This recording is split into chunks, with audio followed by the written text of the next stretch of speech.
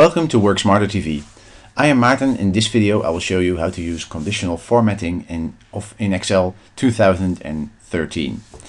Um, now this is a function that has improved quite a bit since the previous uh, version of Excel. Um, I'll show you what's different. We select the data where we want to apply the conditional formatting. We go. We can do. We can go to. Oh, this is a nice preview.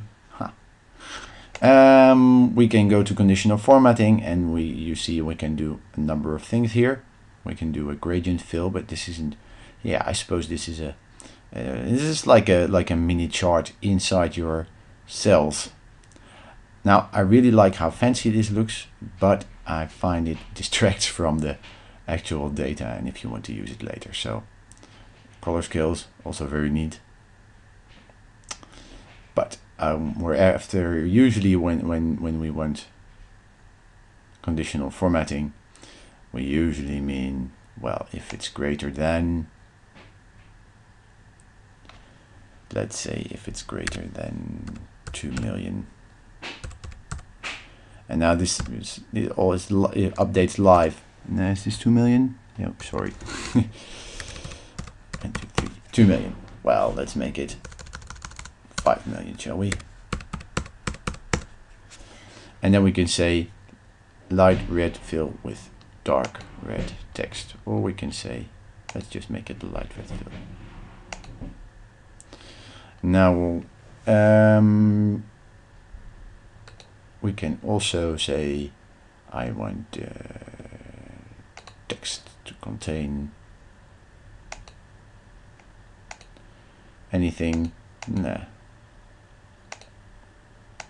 uh, this is of course the first heading. So this doesn't really mean anything in terms of the conditional formatting, but it gives you an idea of what you can use. Um, but what you can also use, and this is a really neat function, you can use this button and it will instantly take you take you here. This is just a basically shortcut. I especially I like this function, the clear format, so you can just start fresh again and um, we can say if it's greater than 1 million we make it let's go to a custom format. And let's say I want to have a green no a green background color.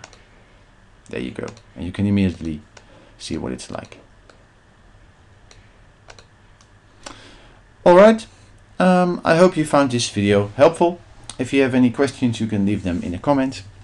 You can also subscribe to my YouTube channel by clicking the subscribe button above this video. And if you want to receive email updates when I post a new video and get email tips uh, and tricks on how to use Excel in a smarter way, click the button in the bottom right corner of this video. This will take you to my website worksmarter.tv and you can subscribe to my mailing list there. Thank you for watching and I hope to see you next time. Bye bye.